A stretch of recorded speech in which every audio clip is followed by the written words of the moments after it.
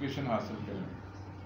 Keeping in view that very thing हमने इस तरह किया हुआ है कि जो क्लास वन है जिसके लिए गवर्नमेंट ने एज रखी हुई है पाँच से छः साल। ये गवर्नमेंट की एज है।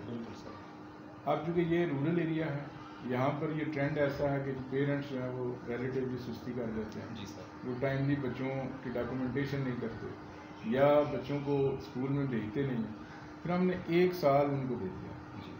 हम सात साल तक के बच्चे को वन में दे देते ताकि सिर्फ़ मकसद इसका ये है कि हम कम्युनिटी को एजुकेट करें। बिल्कुल सर इसी तरह। इस पॉइंट ऑफ़ व्यू और इसी तरह बड़ी क्लासेस में भी अगर बाल का इवन पिछले साल हमारे पास बच्चे ऐसे भी आए कि जो इससे भी बड़े बच्चे थे जी सर। सात साल से भी बड़े बच्चे थे अब उनको वन में दाखिल करना जो है ना वो तकरीबन इम्पॉसिबल कैसे हम उनको वन में दाखिल करें? एजुकेशनल पॉइंट ऑफ़ व्यू से क्लास की जो बच्चों की है एज ग्रुप भी कमोबेश सेम मैटर होना। करता है मैटर करता फिर हमने कुछ उनको इस तरह भी किया गाइड करके सिर्फ़ भले के लिए। ये नहीं आउट ऑफ़ स्कूल तो इन स्कूल करने के लिए। हमने उनको थोड़ा सा गाइड करके थोड़ा सा उनका देखा कि जी कोई मदरसे में पढ़ता रहा है कोई दीनी इदारे में पढ़ता रहा है कुछ ना कुछ नो हाउ इसको है।